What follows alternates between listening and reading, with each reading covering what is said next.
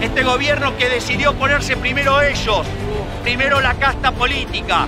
Y nosotros venimos a decir lo que no, que ahora primero estamos nosotros, los que laburamos.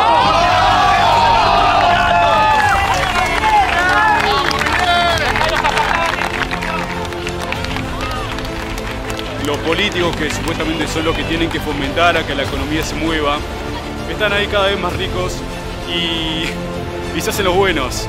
Se hacen los buenos y es durísimo eso para las personas que de verdad quieren lucharla y es remarla en dulce de leche. Lo voy a votar a Javier Milei porque amo la libertad, la mía y la de todos. Es la verdadera oposición y me parece que, que de verdad puede sacar el país adelante. Y este es el primer paso. Lo votaría porque quiero un cambio y porque lo rebanco. ¡Vamos, Milei! Claro.